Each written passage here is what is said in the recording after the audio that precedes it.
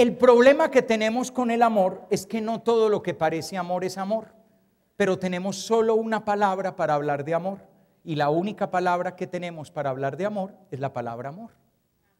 En griego hay varias palabras para hablar de amor, por ejemplo. Hay una palabra para hablar del amor deseo. El amor deseo, el amor que es pasional, el amor que es todo este, este vértigo de sentimientos que tenemos y que quiere poseer al ser amado. A eso en griego se le llama eros. En griego hay otra palabra para hablar, por ejemplo, del amor de fraternidad. El amor de amigos, camaradas, que se ponen una meta común, que quieren caminar hacia un mismo objetivo y que se apoyan en esa labor. Y a ese amor los griegos lo llaman filia.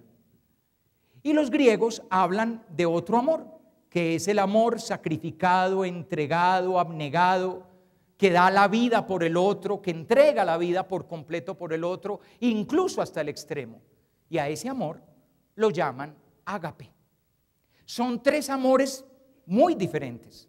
No es lo mismo el amor pasional de quiero poseerte, eros, que el amor de somos capaces de convivir juntos y hacer proyectos y apoyarnos, filia, que el amor de daría la vida por ti, me entregaría por ti y, lo, y, me comprometería por completo contigo hasta el extremo, ágape.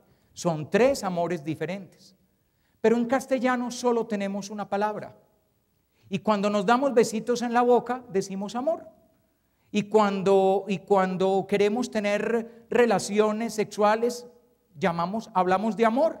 Y ternura es amor, y salir juntos a cine y después comer pizza es amor, y tener los lindos sentimientos es amor, y guardarte celos es amor, y dónde andabas, con quién estabas, por qué no me llamaste, es amor. Tenemos una sola palabra para todo, y eso nos confunde, porque terminamos creyendo que el amor, que es lo más bello, puede ser la causa de realidades muy dolorosas y negativas.